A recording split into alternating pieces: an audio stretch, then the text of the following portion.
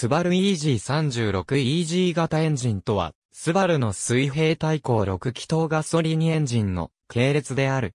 三代目レガシーに EG30 が初めて搭載され、その後もレガシーシリーズ及びトライベッカに EG30、EG36 が搭載された。EG30 2000年、アルシオネ SVX に搭載されていた EG33 が生産終了してから約4年のブランクの後、スバルの6気筒エンジンとしては3代目となる EG30 がレガシーランカスター6に搭載されデビューした。EJ 型をベースに6気筒化した EG33 とは水平対向6気筒エンジンであること以外に共通点はなく、完全新設計のエンジンである。ボアピッチが短く、EG33 よりも前後方向に短くなっている。また、バルブ挟み角を大きくすることで、シリンダーヘッド高さを抑え、ピストンストロークを 80mm まで伸ばし、過度なショートストロークエンジンになることを避けた。なお、カムシャフトの駆動方式に、スバルとして初めてチェーン式を採用している。最大出力は 220PS、最大トルクは 29.5kgm であった。搭載グレードは当初ランカスター6のみだったが、後にツーリングワゴン GT30、B4RS30 などに搭載された。このモデルのみ、シリンダーヘッドにエキゾーストマニホールドを内蔵する。2003年に登場した4代目レガシー搭載の EG30 では、故障を EG30R とし、9機、アバックスを適用し、同時に、同じく9機側の同弁形に、ダイレクト可変バルブリフト機構を適用した。この構成は、ポルシェのバリオカムプラスの構成と同じである。くしくも互いに水平対向6気筒エンジンへの適用となっている。この同弁系の改良もあり、最大出力は 250PS、最大トルクは 31.0kgm になった。また、2004年10月には、スバルの6気筒エンジンとして、初めて 6MT が組み合わされ、スポーツグレード 3.0R スペック B がデビュー。2007年5月までの約2年半の間だけ生産された。2005年にアメリカ市場で発売された be 級トライベッカにも4代目、レガシーと同仕様の EG30 が搭載された。しかし、レガシーを大きく上回る重量に対応しきれず、公開転機を多用することになり、燃費も良くなかった。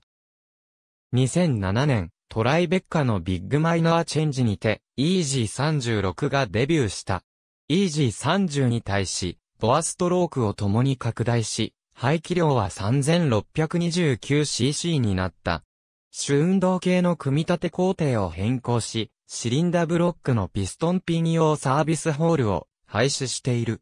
一般的な他社製エンジンと同様に、ピストンとコンロッドを組み立てた上で、これをシリンダブロック内のクランクシャフトに締結する。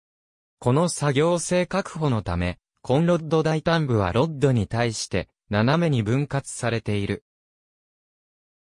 また、コンロッド大端部は、成形、加工後に破断させる、クラッキングコンロッドを採用している。動弁系では、ダイレクト可変バルブリフト機構を廃止し、排気側にも AVCSを追加して、デュアル AVCS とした。チェーンシステムも大幅に見直しており、サイレントチェーンの採用、リダクション方式採用によるレイアウトの変更などを施している。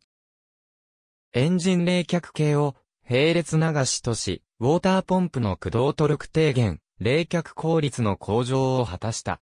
これによって、高めの圧縮比にしながらも、使用燃料をレギュラー指定とし、かつトライベッカは EG30 モデルよりも燃費を向上している。最大出力は 256HP、最大トルクは247ポンドフィートである。2009年、フルモデルチェンジを受け5代目になったレガシーシリーズのアウトバックに EG36 が搭載され、日本国内に初めて EG36 が登場した。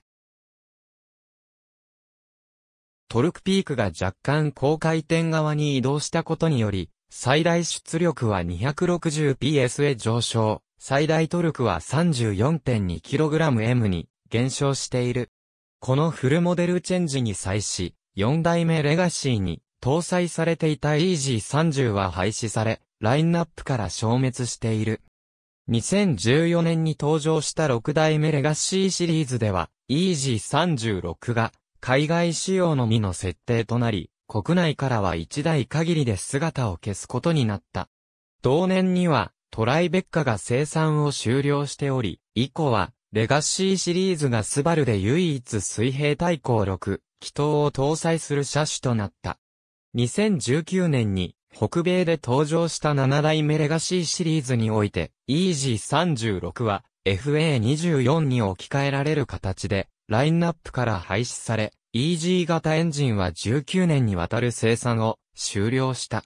同時にスバルから水平対向6気筒を搭載する車種も消滅した。3代目レガシーに初搭載。4代目レガシーに初搭載。吸気動弁系に AVCS とダイレクト可変バルブリフト機構を採用。トライベッカのビッグマイナーチェンジと共に初登場。デュアル AVCS 採用。ありがとうございます。